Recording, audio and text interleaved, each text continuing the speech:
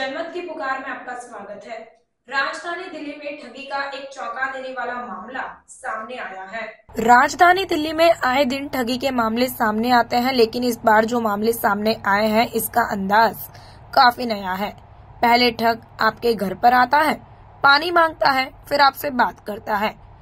फिर बैग से नोटों का बंडल निकालता है और ऐसा करके आपको भरोसे में लेता है। और जब आप लालच में आकर उस पर भरोसा कर लेते हैं, तब आपको लाखों रुपए के नोटों के बदले दस, बीस और पचास हज़ार रुपए के गहने देने को कहता है।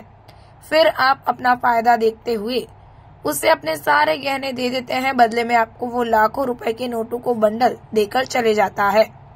फिर आप बैंक में उस पैसे को जमा कराने जाते हैं, तब पता चलता है कि ये सारे नोट नकली हैं। फिर आप अपनी बेहूदगी पर रोते हैं। तब बैंक वाला आपको समझाता है, फिर आप पुलिस में जाते हैं और फिर ये मामला पूरी दिल्ली और देश दुनिया में फैल जाता है। ऐसी ही एक घटना दिल्ली में हुई, इसकी जानकारी वेस्ट दिल्ली के डीसीपी विचित्र वीर ने दी है और आरोपियों को भी पकड़ा है।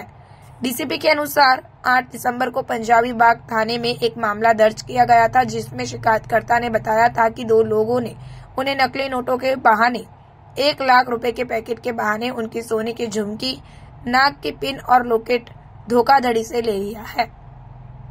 इसके बाद पुलिस ने कार्रवाई करते हुए घटनास्थल का निरीक्षण किया और आसपास के क्षेत्रों के सीसीटीवी फुटेज का विश्लेषण किया।